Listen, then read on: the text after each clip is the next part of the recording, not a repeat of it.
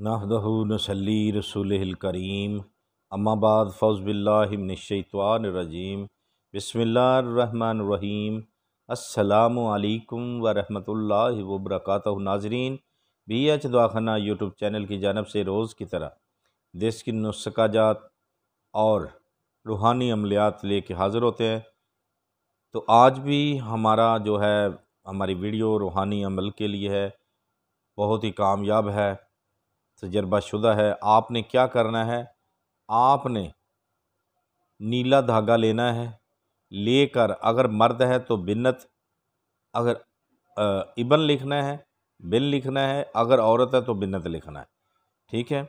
आपने नीला धागा लेकर पहली तीन गरा देते वक़्त सूरत इखलास तीन मरतबा पढ़नी है। ठीक है? पहले तीन गरा, यानी गांठ देते हुए, पहली तीन गांठ देते हुए हर गांठ पे तीन तीन बार सूरत इखलास पढ़नी है। ठीक हो गया? उसके बाद आपने सूरत फलक पढ़नी है। ऐसे ही तीन मरतबा, तीन तीन मरतबा, फिर सूरत नास, तीन तीन मरतबा। इस तरीके से गांठ देनी है। चौथी गांठों पे जाके आपने सूरत फातिहा एक, दो बार पढ़नी है पढ़ कर गिरा लगा देनी है। ठीक है? इसके बाद इसको दोनों सिरों को पकड़कर आपने पहला कलमा, यानी अव्वल आखिर इसके दरूशरी तो लाजमी पढ़ना है, याद रखें। दोनों गा, सिरे पकड़कर इसको गांठ दे देनी है। तो डोरी बनाकर मरीज़ को देनी है या मरीज़ खुद बना ले, ये किस लिए है? पुराने से पुराना ज़काम, नज़ला, खुश्क हो या तर हो अक्सर लोगों को बहुत दैमी नज़ला ज़ुकाम हो जाता है।